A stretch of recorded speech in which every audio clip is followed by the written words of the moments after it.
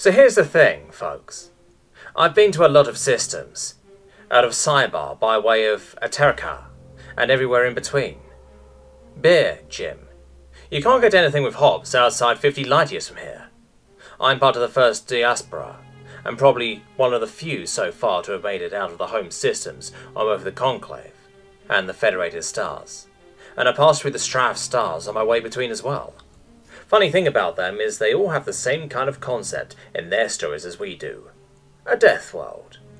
You know what I'm talking about. Horrific living conditions.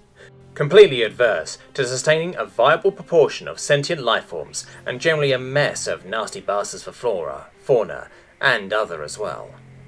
Worst I ever saw was some carnivorous hills in the Dark System, out near the edge of the Conclave. You couldn't live there properly because the hills shifted in the night, and the landslides were unbelievable. I've seen some awful places since I first commenced to roam, but never yet such awful land I've seen. Huh, it's an old joke. You wouldn't get it. Regardless, one of my more sober realizations was that all three of the great star spaces define Terra as a death world, and in all of the top third of inhospitable worlds.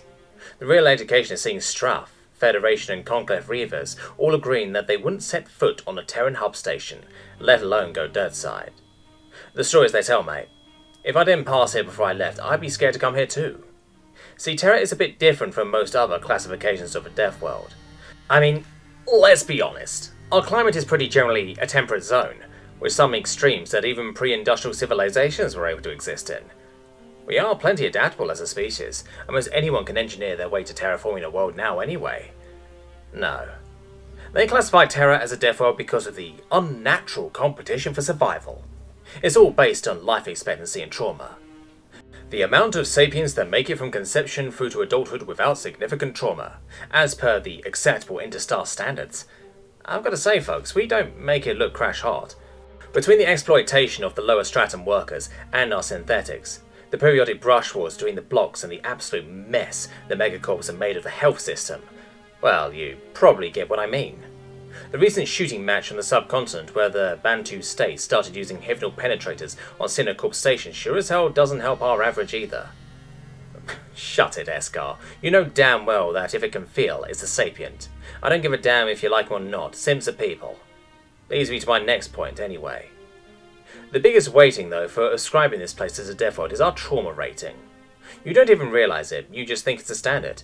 But really, we've got some intense brutality amongst kids the increasing competition for schooling rights, and most of our power blocks have adopted some form of compulsory service to keep up with each other. Hell, the suicide rates among service, Ambrose Sims, belt miners, and of course forces leads the damn quadrant, let alone the sector. And of the ten most dangerous careers in the quadrant, we've got eight of them.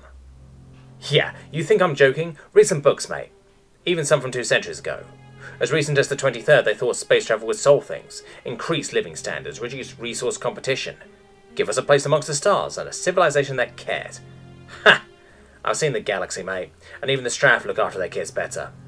And they still have jewels to determine their damn mating rights.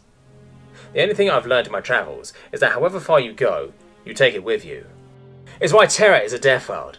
Why Cybar will be a death world, and when we terraform the next one, it will be classified a death world too. Once we stop fighting the planet, see, then all that's left to fight is each other, and we thrive on that fight. Endurance predators? Sure. But our endurance is the ability to live in a soul crushing environment for decades, just on the hope it'll get better. We can't escape our death worlds. See, we define them.